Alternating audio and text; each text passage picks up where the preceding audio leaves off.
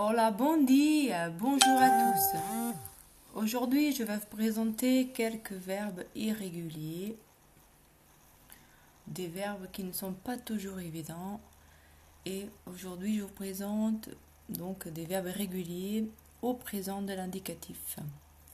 Nous avons ici le verbe fazer, le verbe faire, le verbe dizer, dire, trazer, apporter, ramener, pedir, demander, ouvir, écouter, dormir, dormir, sair, sortir, cair, tomber, et le verbe pour, qui lui a beaucoup de fonctions, mettre, déposer, entre autres. Donc, commençons par le verbe fazer. Ici, du côté gauche, ce sont les, euh, les pronoms personnels. Eu faço, tu fazes, você, ela, ele faz, nós fazemos, vocês, elas, eles fazem.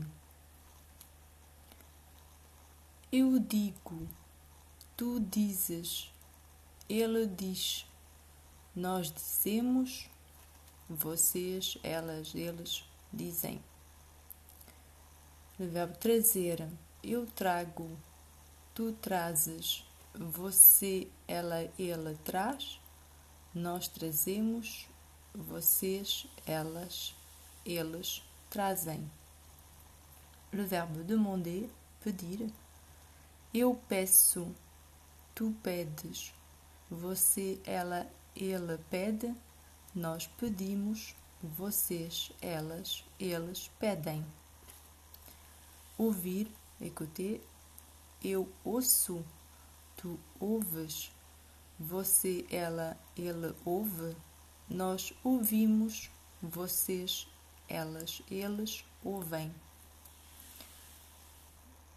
Dormir, o que dormir? Eu durmo, tu dormes, ele, ela dorme, nós dormimos, vocês, elas, eles dormem. Le verbe sair, então, uh, sortir.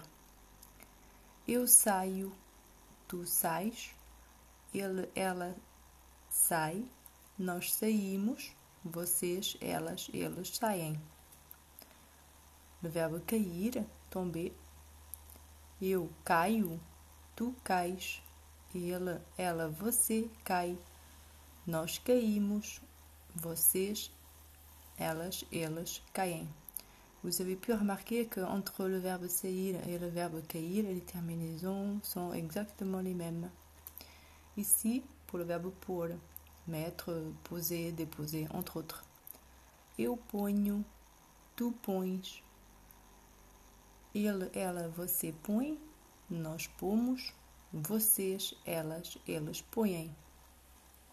Il faut savoir qu'en portugais, quand on conjugue les verbes, nous n'avons pas besoin d'utiliser les pronoms personnels puisque les verbes sont déjà conjugués euh, de façon à ce qu'on comprenne de qui et de qui il s'agit, de qui on parle tout simplement. Donc euh, c'est un plus. Donc euh, soit vous faites avec, soit vous faites sans. Après, c'est à chacun de trouver sa méthode. Voilà. Donc j'espère que j'ai pu vous aider un petit peu avec tous ces verbes irréguliers qui ne sont pas du tout évidents. Voilà. Plus qu'à vous entraîner.